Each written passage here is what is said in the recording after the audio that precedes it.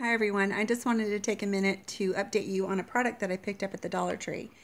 Uh, it's the Nutrinail uh, Youth Activation Activating System for uh, hands and nails. And I must tell you, I am pretty impressed with this product. Can you see it? Look, it comes with two little products inside. Uh, this looks like a little bottle of nail polish, but you actually uh, uh, brush it onto your fingernails around the cuticle and under the fingernail in the front. I don't my fingernails are so short from a gel nail incident that it's there's nothing to rub underneath it, but I do try to to get it on the ends. Um, and then the, the I let that dry completely. It doesn't leave a sheen on my fingernails. It just dries completely.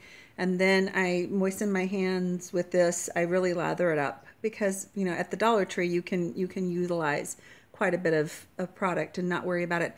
I went back and got another set of this. And then I found um, just this in a bigger amount. So I got that as well. And I figured if I do it two or three times a day, this is going to last a couple of weeks. And then I've got it basically what I think I figured out is about a month worth of of recovery for my nails. And I am really impressed. The shattering and this the, the uh, uh, layering is almost gone. The bed feels a lot stronger than it did. My hands look good. They don't look 14, which is what I was kind of shooting for, but you know, I'll take just not wretched as a look. I'm good with that. Uh, sorry about the dicey lighting. I'm just sitting here looking at this stuff and thought if I don't put this on film right now, I'm not going to do it.